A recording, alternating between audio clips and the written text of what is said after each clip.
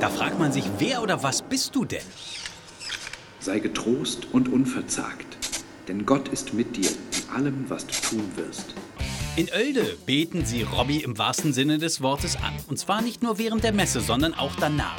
Vor allem für jüngere Besucher wie Justus ist der Roboter ein Segen. Ich finde es cool, dass die Kirche sich auch mal mit neuen Sachen zusammentun sollte, weil dann ist die Kirche einfach wieder moderner.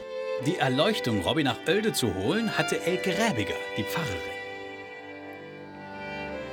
Es war nicht als Spaß gedacht, dass er hier mal in Oelde Station nimmt und auch nicht als Provokation, sondern wirklich als Einladung zum Gespräch, dass wir uns gemeinsam Gedanken machen, wie unsere Zukunft sein wird. Und deshalb baut sie Robby auch in ihre Predigt mit ein.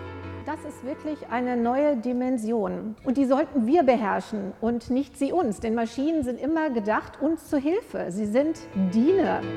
Robby zieht in der evangelischen Kirche in Oelde alle Blicke auf sich, spaltet aber die Gemeinde.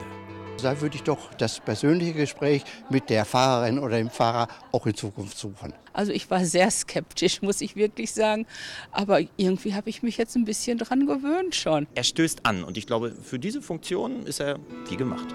Trotzdem stehen hier Jung und Alt Schlange, um sich von Robby segnen zu lassen. Ihr mühselig und beladen seid, ich will euch erquicken. Den Segen gibt's übrigens zum Ausdrucken und zum Mitnehmen.